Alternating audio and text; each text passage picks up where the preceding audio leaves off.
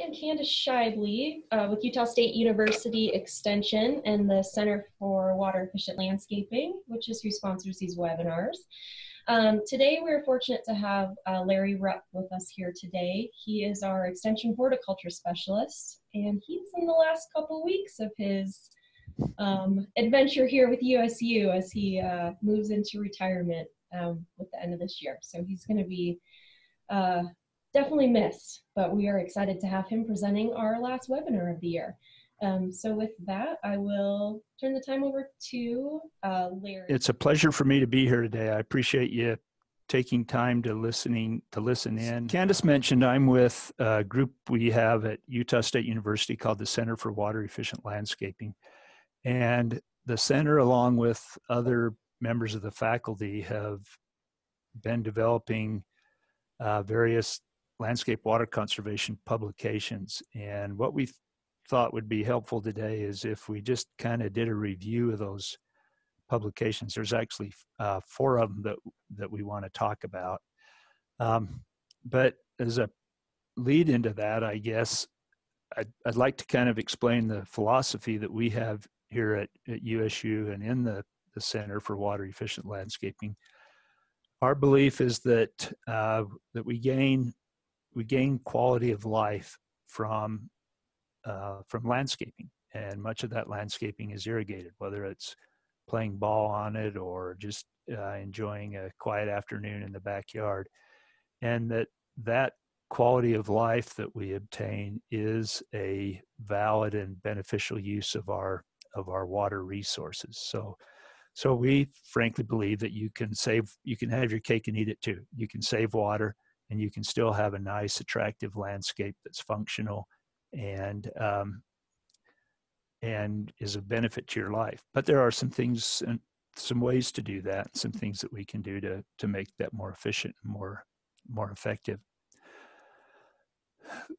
To that end, we have a number of publications that uh, we're going to be talking about today, others that we won't be talking about today that uh, that kind of address how to do that. And I'd like to go through these four today. The first one is our Combinations for Conservation book. That one's been out for um, a couple years now. And uh, the second one is a brand new one called Transitioning Trees from Traditional to Low Water Landscapes. And we're going to go into depth on each one of these. The third is one on collecting plants on, on public lands for Utah landscapes. And the last one is some ideas on landscaping in dry shade, uh, kind of a perennial problem area when we when we look at at uh, landscape situations. Of these four publications, the first one, the combinations for conservation, uh, is only available as as a hard copy by purchase. The other three are available online for free, so there's uh, there's no charge for for the other three. So first off, I'd like to talk about um, talk about the combinations for conservation. As I mentioned, this publication has been out a couple years now. It was developed uh, with Adria Wheaton as our editor, and she did a fantastic job of pulling this together. And then we had a, a large group, as you can see here on the screen, of uh, basically faculty members associated with uh, Utah State University who contributed uh, images and writing and, and things to the public publication. We are pleased to announce that we are able to um, we're able to sell the thing out, and uh, we're now in the second printing of the of the first edition. And if I can have a as the car talk guys say, a shameless commerce section of this announcement. They are available. You can go to the uh, Center for Water Efficient Landscaping website and order them. I think they're $21.18 or something like that for for this publication if you're interested in buying one for somebody for a, a Christmas gift or whatever. The philosophy of the book is the idea that instead of we found ourselves doing a lot of uh, a lot of recommendations on individual plants. You know, you should do something. You, this is a good plant. You should use it. This is this other plant is a good plant. You should use it. And And it seemed like we were kind of missing the boat and that we would be better off if we could uh, educate people or provide ideas on how to use combinations of plants. For example, this picture here has uh, junipers, coreopsis, Russian sage, and it works nicely together. The colors uh, fit well together. The textures add to the um, add to the concrete structure, and and it's nice. It looks good. It's something that's that's attractive. And as we look at at combinations, it kind of makes sense. Uh, you know, I was just walking through our building here on campus, and uh, I took a picture of this room as one that is a well thought out interior design combination that has specific colors and textures and quality of materials that we would that that the, the interior designer would use to make sure that the room is functional and attractive. Maybe another example of combinations is um, the difference between how my wife shops for clothes and how how I shop. If I need something and it's wore out, I go out and buy one thing, and it may or may not match or fit the rest of my wardrobe. When my wife shops, on the other hand, she's very wise about choosing things that are complementary and and fit together and can mix and match. And so it's a well thought out combination that overall creates a greater effect. So the the purpose of our of this book, Combinations for Conservation, was to see if we couldn't come up with some ideas of of combinations of plants such as what you see here in front of you that that are attractive and functional and meet the overall goal of having an attractive functional landscape that that still saves water our again our, our goal is then to use this book to encourage water conserving landscaping and promote attractive functional landscape combinations rather than just single plants so we've tried to come up with combinations that work in our climate uh, that are examples from gardens around the Intermountain West uh, that use plants that are generally available in the trade. They're not always all all available, and if you see something you like and you you want it, you can't find it, I'd encourage you to talk to your local independent garden center and ask them if they could order it in for you. A lot of times they just need to know that there's a demand for a plant in order to uh, justify their ordering it. We tried to keep it in manageable size groups of three to four plants. And again, we have a, a goal of grouping them by water use so that one of these combinations could be used in a hydrozone or a specific um, water water amount. As you look at, at the idea of putting together a book that um, that offers ideas for landscaping, one of the things that that we felt was important was to address some of the criteria that people use when they try and decide whether or not a plant is should be selected for their landscape. Uh, these can include the the items listed here, the the appearance of it, the color, uh, its impact on wildlife or pollinators, for instance. Uh, is it fragrant? Does it provide food for wildlife, or could it be an edible landscape? Um, if it's a native plant, is it is it actually native to the environment that the landscape is in so that it fits well and uh, requires a minimum amount of resources in order to to thrive in that landscape and then of course the overriding theme on on our publication is is it water conserving is it going to is this going to be a plant that you can put in your garden or your landscape and and be able to reduce water as compared to a traditional landscape. Help in making those selections, uh, the book has a, a number of selection icons, and they're listed here on the right of your screen. Um, different water levels, sun levels, uh, plants that, or excuse me, animals that it may attract or repel. Uh, some animals like deer, we may not necessarily want them to be in our landscape, or we want something that's either deer resistant or deer tolerant, so that uh, we can uh, not lose what we have as a result of deer. Uh, things like fragrance and whether or not it's a, a, native plant to the Intermountain area. Might just give a little caveat on natives. Um, we don't necessarily subscribe to the idea that that only native plants should be used. If somebody wants to have a native landscape or a native garden within their landscape, that's great. But uh, there are a lot of very, very nice adapted plants that, that we feel like people should use in uh, obtaining their landscape goals. The book also has some charts on flowering times and things like that, some instructions on, on how best to uh, plant things and how to maintain them that are just sort of background information. On these charts, uh, the combinations will be given with not only the names of the plants, but also a, a chart that shows when the plants will be flowering over the course of the summer or the course of the of the year.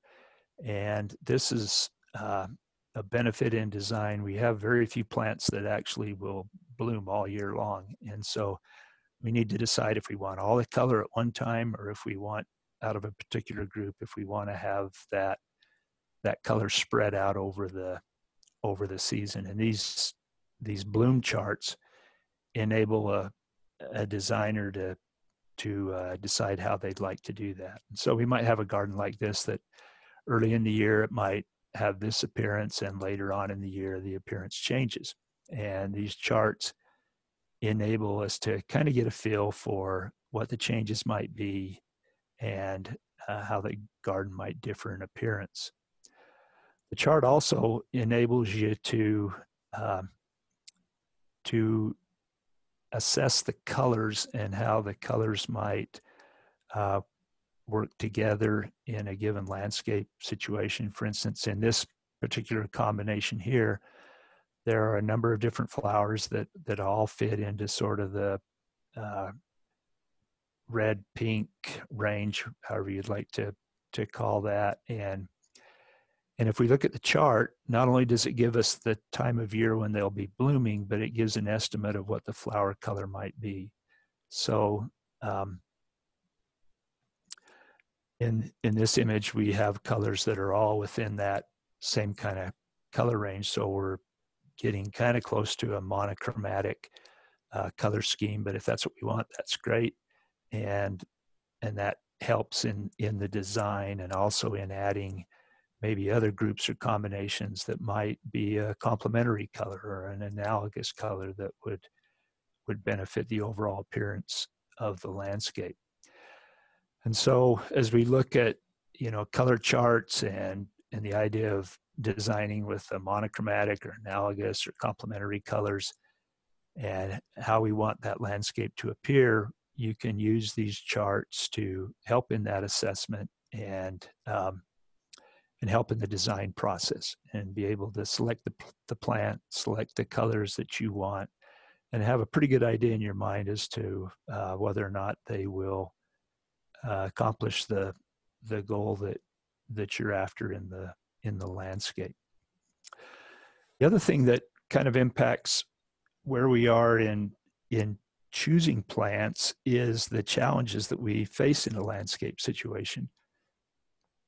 As it says here, we might have well, there are a number of different challenges: dry shade, uh, what plants work well there. If we have park strips, how do we how do we landscape a parking strip without wasting water and without making it a problem for visibility? Um, what do we do with hot, dry spots, small spaces, big spaces? Uh, do we need alternatives to lawns? Do we have a, a soil problem or again, an animal problem such as deer? Hopefully the, the book helps us to address all of these that are uh, they're common problems. I mean, I was out my home this morning. I came out and was walking the dog for a minute and couldn't help but notice all the deer tracks through through our landscape and and it's something that uh, that you have to address. So the the book helps to come to terms with that, either something that we can allow the deer to eat or something that will resist them. Also, problems like uh, maybe weird shaped lawn areas, like you can see here by this water feature, and trying to come up with something that might be a little bit easier to maintain than trying to mow out on the edge of that point. So, lots of challenges that we might want to come up with different uh, alternative plantings or planting plans for and and the book helps to explore some of those so for example we have plant combinations for dry shade um, this is um, this is one for that has pink anemone, hellebore, and lamb's ears. Uh, if you look at the the chart, it shows the colors as they appear throughout the year and uh, would give you again an idea as to how they would work. Another variation for dry shade would be this one with uh, Gro-Low sumac, hardy plumbago, and variegated iris. And again, a, a little bit of a feel for how it would how it would look throughout the year, which parts of the year would have minimal color, and which ones would be would be more showy. Uh, we have other combinations that we might look at.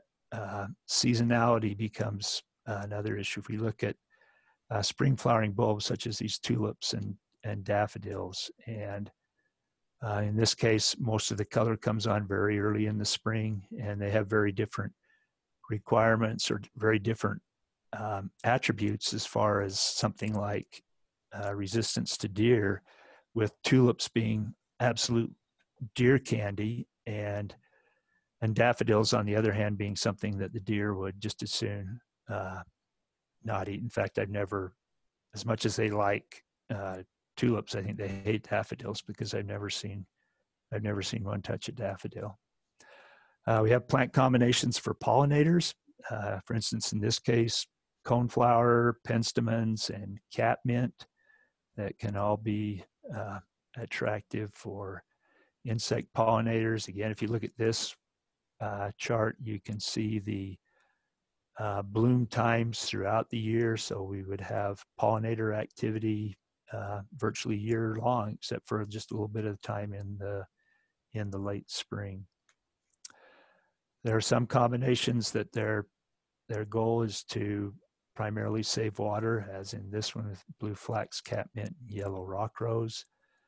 Um, others that would work for parking strips. This is a combination of, of more woody type plants, uh, lavender, shrub rose, and Oregon grape that would be fairly low in stature. So they would allow continued visibility, but would lend themselves very well to a, a drip irrigation type system. So we're keeping water off of the street and off of the sidewalks.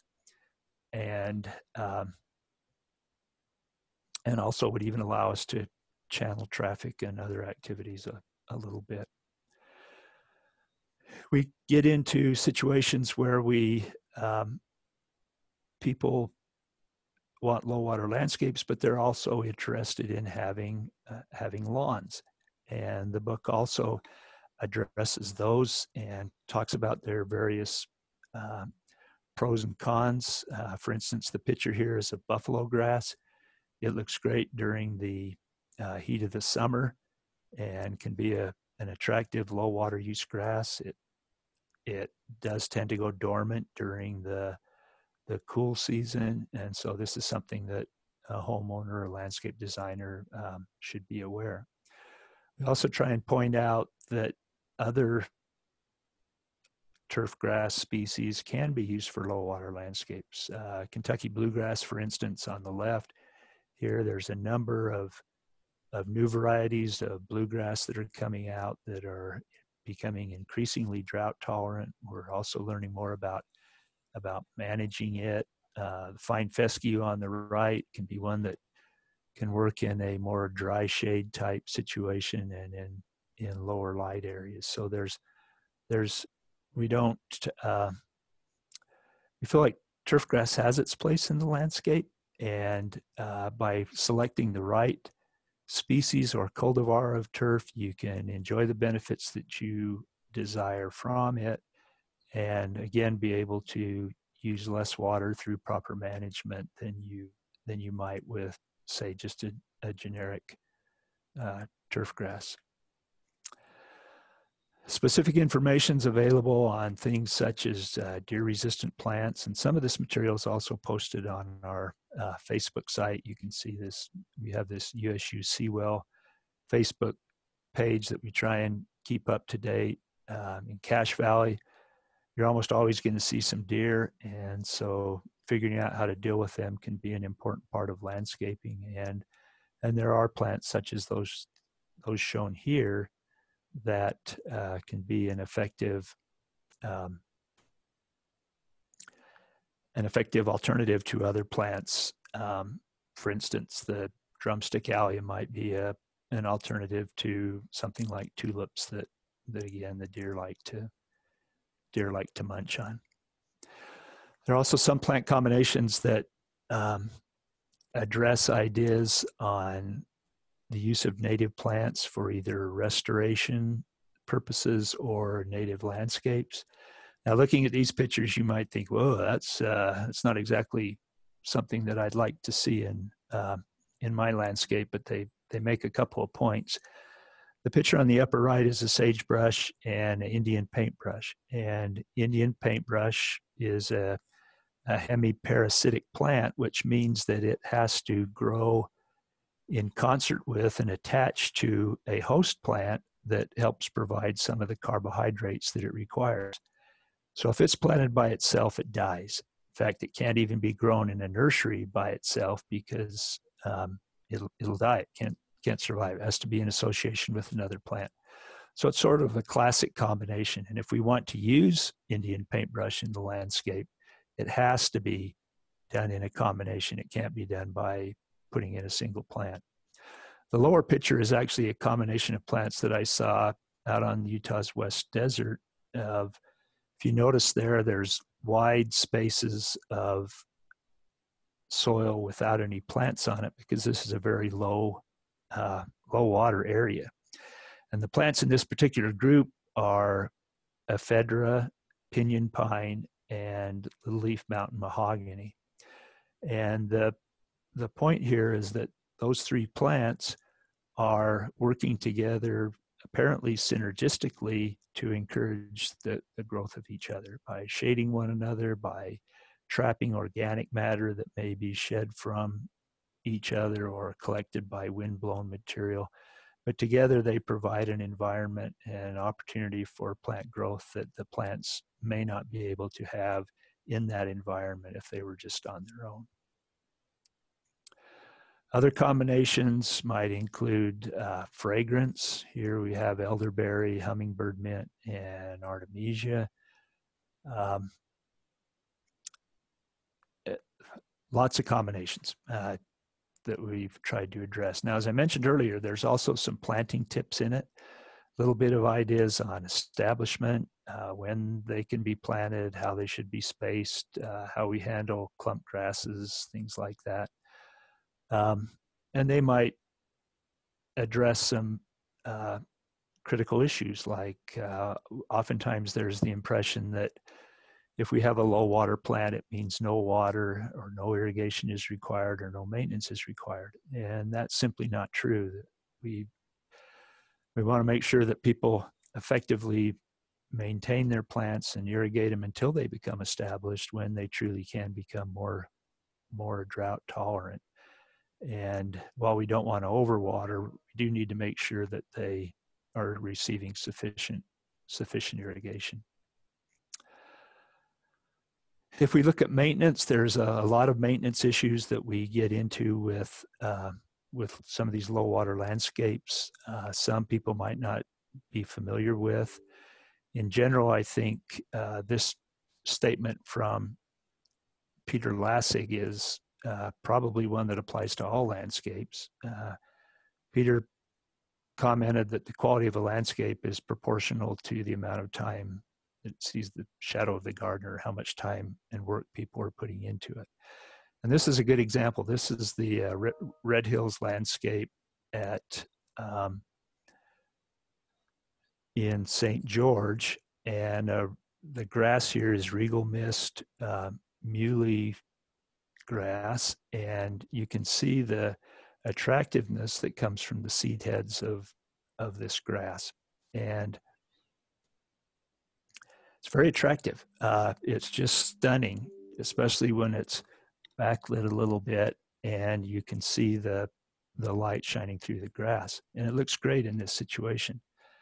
In contrast, here's a, another situation where uh, in this landscape you can see there's uh, just beautiful potted flowering plants, and uh, but the bunch grasses next to it have been prematurely sheared. And so if you look here in the picture on the right, you can see the result of coming in and shearing those grasses and shearing them before they were able to uh, get their their showy seed heads and the um, the benefits that that come from that. So we want to make sure that that the maintenance is done correctly. You go to all the work of, of putting in these plants and and keeping them alive, and then to inadvertently uh, reduce their appearance by inappropriate maintenance can be really unfortunate. Lastly, uh, we'd want everyone to consider combinations of their own, finding things that they can do and, and coming up with ideas of their own. Now, real quickly, I want to tell you what our plans are for the second edition of the combinations for conservation. Um, we're looking to come up with a, a, new edition in about a year. I'll tell you why we're waiting so long in just a minute, but we want it to have more ad- address more of the seasonal changes that we might have, explanations of why a combination might work in a specific location, and some more ideas on maintenance, on the social aspects of water conservation and human behavior, and special conditions like wind or salt tolerance. The reason we're waiting a year is that we want to get new images and we're hoping to use crowdsourcing as a way to come up with new combinations and images that people might like to use. And so we're going to be uh, sending out a, a call for images. We've got a website that's located here that you can see on the screen where images can be uploaded. And um, and there's going to be more information coming out from the CWEL offices, or if you're interested, you can contact Susan Buffler uh, our uh, CWEL executive director that and she can help you with information but basically what we're suggesting is that people start watching for landscape combinations in their own landscape or somewhere they've seen that are really attractive and and have really caught their eye and then we'd like you to submit images of that. And if those images are selected for use in the publication, then we will send you a free copy of the new edition when it comes out. We're also hoping that people can actually find a good combination and then track it over the course of a year. And that's pretty hard to do. So we're going to try and take a year and do some reminders and see if we can get uh, people thinking about that and uh, considering sending us those images in. The images would be fully uh, credited, and again would uh, would result in giving you a, getting you a free combination or a free copy of the combinations for conservation. So stay tuned for more information on that, and please let us know if you'd like to be on a mailing list for that information. Okay, I'm running out of time, so I need to move along quickly to a couple of the other publications that we have. One is the idea of transitioning trees from traditional to low water landscaping. We're starting to see more homeowners and uh, institutional landscapes that are that are going from a traditional type landscape to a low water landscape, but they want to keep their trees. And fortunately, in some places, we have heard situations where, uh, in the process of that transition, trees die. And so the goal of this publication is to provide some ideas on how to keep trees alive while you're transitioning from one type of landscape to another. What we don't want is to see like the picture of the tree on the right here where uh, there's it's going through a transition, it hasn't been watered correctly, and there's uh, severe dieback and damage to the tree as a result of that. if you look at what happens in a in a major landscape remodel, a uh, number of things take place or should take place. One is that it should be uh, should be planned. There should be a landscape plan as as part of it. During the process, there's a real risk of damaging existing trees, either by uh, construction injury, being hit by a tractor or something like that, or contamination of the soil by uh, masonry products or oils or gasoline, uh, neglected maintenance if they're not irrigated during the transi- transition process, or changing the soil grade, scalping soils, or uh, raising the grade so that the roots are buried. All of these can, can damage trees. Uh, adding mulches and weed barriers can be an effective tool, but needs to be done correctly to ensure that they don't damage the plants. Then, of course, there's there's big changes to the irrigation system. Uh, people need to understand that just because you remove the lawn doesn't mean that you've removed the need for water. The trees still need water and they need to be irrigated. We need to know the root zone of trees so that we can design where to put the sprinkler system and how to construct hydrozones so that the irrigation is applied efficiently and and also come up with some scheduling on how um, we want to to do that irrigation. Tree maintenance during construction again is is uh, really important, and having ideas as far as how those trees can be protected and irrigated and maintained while the construction process is going on is critical to the success of such landscape transitions. If you don't do it, uh, there's a very real risk of of losing the tree. Another issue that, of course, is important is if we're if we're transitioning from a high water to a low water um, situation, how do we how do we do that and conserve water without uh, damaging the plants? And the publication goes into some ideas on how to come up with a, a science-based management plan based on things like the soil type, the tree type that you have and the other plants that are being used, what your climate is, the evapotranspiration rate. And it goes through those in some detail more than we have time to do here and gives you a means of estimating the duration and frequency of irrigation that you would need to use in your landscape.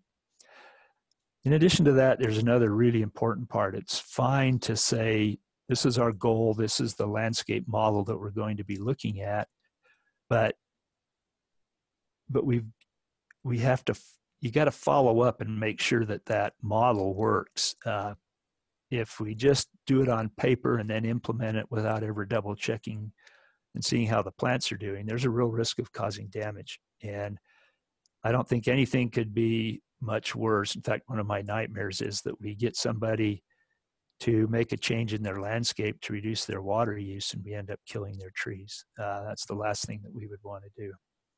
So the management, the irrigation management plan needs to be verified by observation. Just like Peter Lasig said, you got to get out in the landscape and take a look at it. And if you're seeing dieback or leaf scorch or needle drop or or dead perennials, then uh, if you catch that soon enough, you can respond to it and the plants can recover and do so without any permanent damage. But it has to be has to be caught early. Another publication that that's brand new that we've just come out with is this one, collecting plants on public lands for Utah landscaping. And this was developed by Candace Schaible, uh, colleague on this broadcast, and also Mark Williams, a botanist with the Bureau of Land Management. And it's to help address the idea of collecting wild plants and transplanting or using them in a landscape. And someone might ask, well, why collect wild plants in the first place?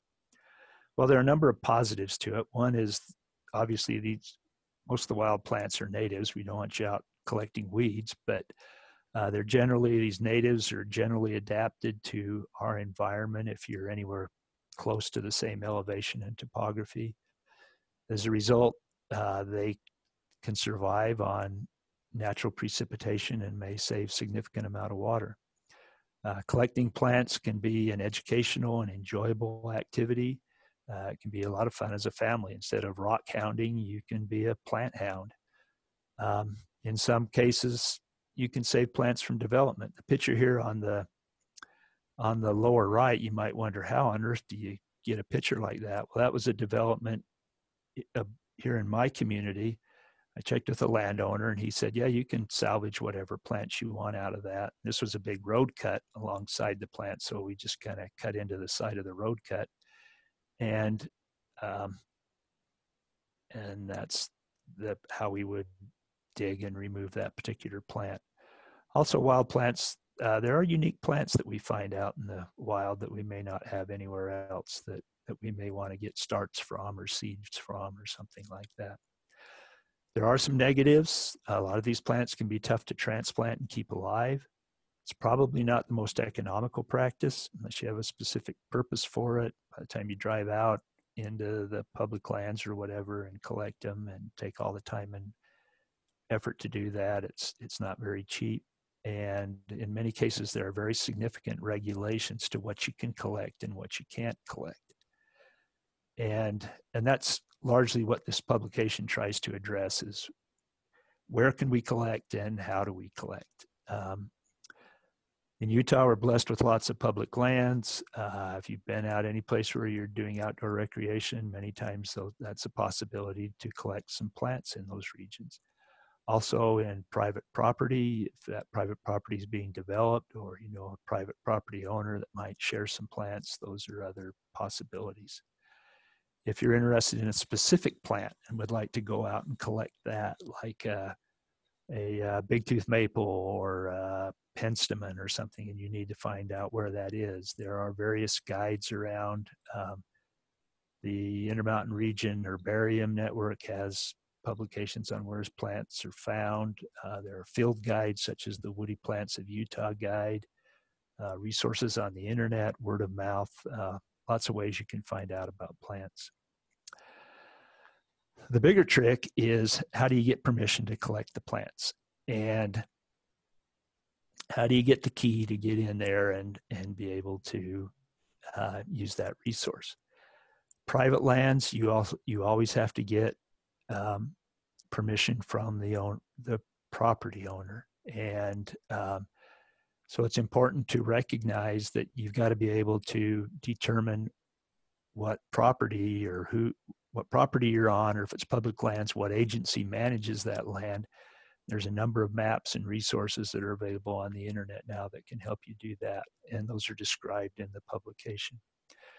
In the state of utah there's a number of different agencies that control lands. Uh, in the Department of Interior, there's a number of agencies, the BLM, the Park Service, there's the USDA Forest Service, and other federal lands. And each one of these agencies can have different policies on how they allow plant collection. Usually there are different rules for recreational collection, which is just sort of incidental of already being out in the woods and you just decide to pick a a fall leaf or uh, some pine nuts or something like that. There's personal use where you might go out and collect large numbers for use in a landscape, or there's commercial use. And each one of these has different requirements. The agencies are very different. The National Park Service does not allow anything to be collected uh, within a national park. The Bureau of Land Management is much more open uh, depending on where the land is. If you're in the middle of Nevada, it's easier to get permission than if you're on the east bench above Salt Lake City.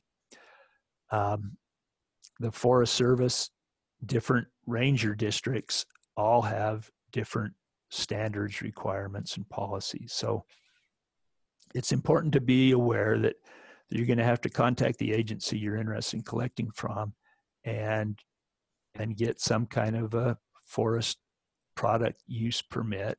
Um, this, this example here is one that's free.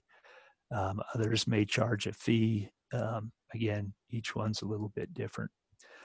The publication also talks about things like uh, what kind of tools are needed, uh, what type of plant material should be selected, seeds, cuttings, scions, uh, transplants, how how those should be collected and handled so that they have the greatest potential for success.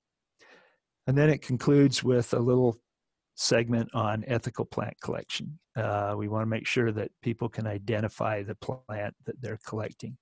and that they don't inadvertently collect something that may be threatened or endangered. And also that they make sure to provide every opportunity for survival of whatever plants that they collect. And the easiest thing I can say on that is make sure that you've got a place for the plant before you ever go collect it. If you collect it and then bring it home and set it down somewhere and say, well, I'll get around to planting it, then the chances are really good that it'll die. The last publication I wanted to talk to you about was is this new one, uh, Landscaping in Dry Shade. It's actually been out for almost two years now. Helen Muntz was the, the lead author on this. And the goal of it is to try and find plants that would work in a dry shade environment, such as uh, this landscape underneath uh, Mugo pine, or excuse me, Austrian pine trees, which tend to shed natural precipitation and keep it dry underneath. When we look at dry shade, we've got a real paradox. If you look at your typical shade plants, they've got large, thin leaves so that they can take advantage of the little bit of light that comes in. Their cuticles are small or narrow, thin. Uh, they don't have, they're not quite as showy. Uh, they're not very resistant to water loss and they can't handle full sun. If you look at a typical sun plant, on the other hand, it'll have smaller leaves with thicker cuticles, generally more showy.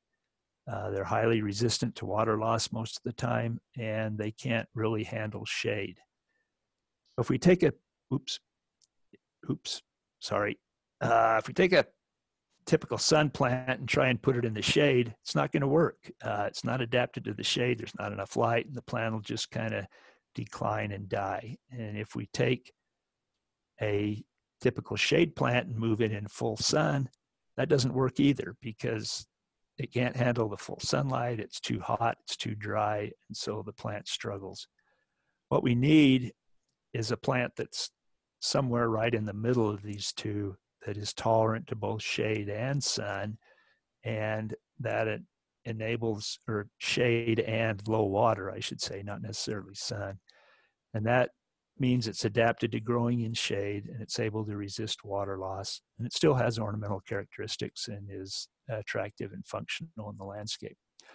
So the publication goes through descriptions on 15 different plants that can be used. Uh, describes their water requirements, their light requirements, their hardiness, um, other features such as deer resistance or pollinator attraction, and gives illustrations and uh, descriptions of these plants. These are the 15 that are located. Again, this publication is available online. You can go online and download it and uh, take a look. And if you've got a tough dry spot that you're trying to figure out how to deal with, um, these are the plants that you may want to consider. With that, I'd like to say thanks on behalf of the Center for Water Efficient Landscaping, our uh, faculty group that you can see here. Again, if, if you have um, questions or want to find out more about any of this, you can go to our website, cwel.usu.edu, or you can send an email to Susan Buffler at usu.edu, and uh, we'd be happy to to uh, help you out in any way that we can. Um, that's that's why we're here. And uh, if we can be of service, we'd love to help.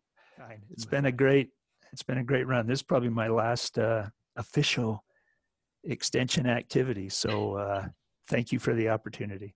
You bet. Um, well, your last extension activity is recorded, so you can watch it anytime. Oh, there you go. Wow. and I will get that link out to you guys so you can rewatch any parts of this that you'd like. Um, and again, thank you for everything. And thank you all for joining us.